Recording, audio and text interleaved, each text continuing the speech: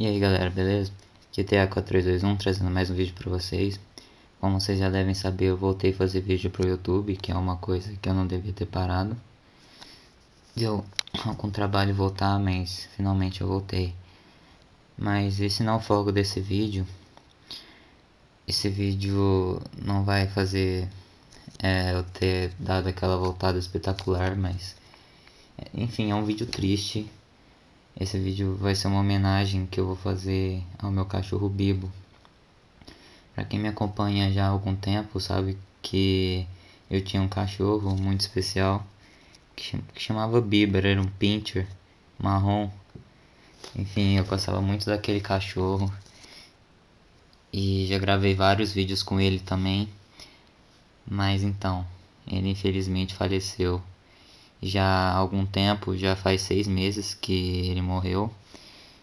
E eu não consegui fazer nenhuma homenagem para ele porque eu não tava com, com tempo de fazer vídeo pro YouTube, como eu não tinha voltado ainda. E agora que eu voltei, eu acho que é minha obrigação prestar uma pequena homenagem para ele, já que ele me ajudou a crescer um pouco no YouTube.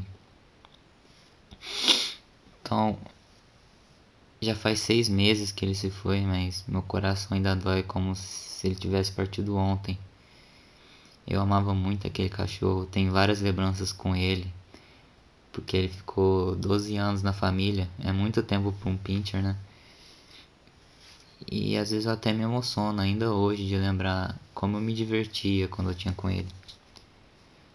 Quem não sabe, há muito tempo atrás, quando eu era na escola, eu sofria bullying.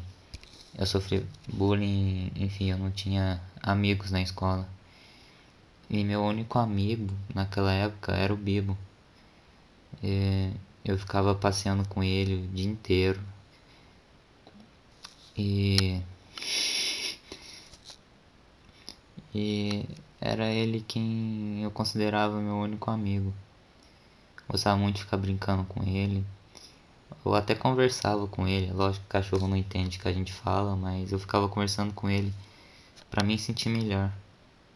E engraçado que mesmo sendo cachorro, quando eu falava com ele, parecia que estava prestando atenção, isso me deixava tão feliz.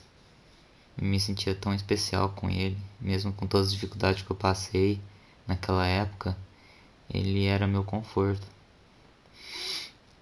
É, depois daquela época, passou um tempo, eu parei de sofrer bullying, consegui fazer novos amigos e e mesmo assim é claro que eu continuei que ele continuou sendo o meu melhor amigo, mesmo com os amigos que eu fiz na escola.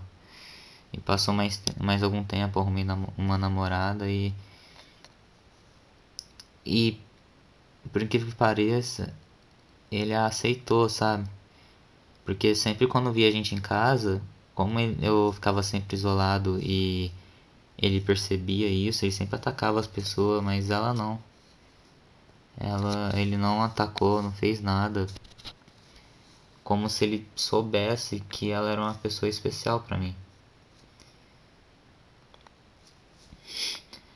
Já faz um ano e cinco meses que eu tô namorando.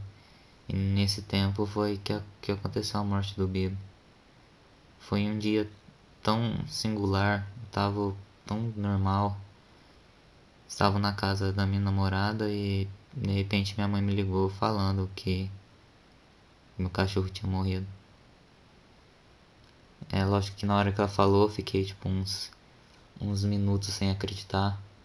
Mas depois que eu percebi que era verdade, que eu aceitei a morte dele, eu entrei em desespero, eu chorei muito, porque ele, ele foi realmente muito especial para mim.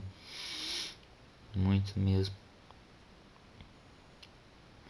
Sei que vocês aí que estão vendo devem estar tá dando a mínima importância pro meu cachorro, porque enfim, vocês não teve muito contato com ele. Mas era ele, considero ele como meu amigo, meu irmão, meu filho. Ele é muito especial para mim. Ele mora no meu coração, morou e sempre vai morar. Eu fiz um velório para ele de frente da minha casa. Eu enterrei o cachorro lá. E toda vez que eu passo de lá, lá em frente de moto, eu paro um pouquinho, desço da moto, fico sento de frente ao mini caixão dele paro para refletir alguns minutos dos nossos momentos juntos.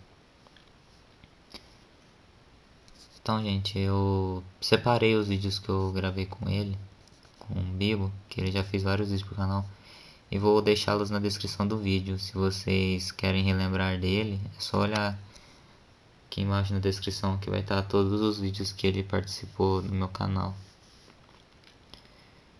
Então, gente, é, é isso.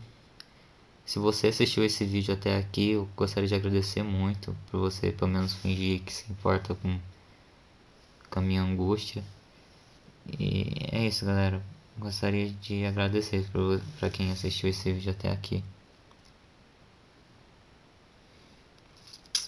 Então, Bibo, você foi muito especial para mim e sempre vai ser.